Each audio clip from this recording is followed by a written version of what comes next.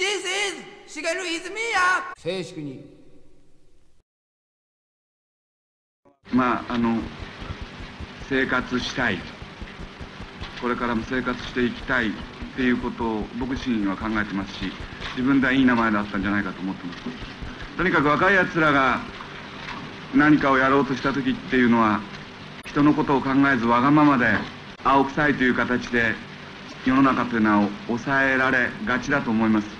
僕らがこれ今やろうとしていることは生意気なことであるという意見もあるようですが今生意気であったかどうかということに関しては今ここで証明することはできませんけれどもこれから僕らが作っていく音楽において証明していきたいと思います。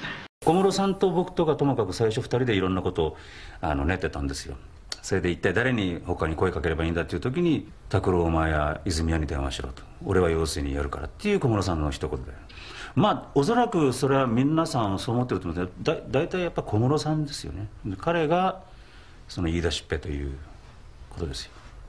やはり拓郎でしょう面白いことやろうというのは大体彼ですからね。あの熱っぽい勢いでやられちゃうとみんなうんって言っちゃうようなそういうパワーがありましたんでね。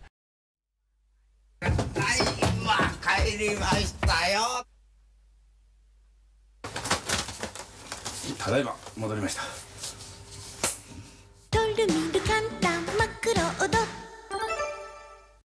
友達の小室仁っていうのが連絡来て拓郎とか泉谷とかでレコード会社作らないなんつって。いいね面白そうだねっていう感じでしたよね。キーワードはクーネル遊び世界をもっと教えて風の香る夜に。皆さんお元気ですか？失礼します。走るって面白い。日産セフィーロ新発売。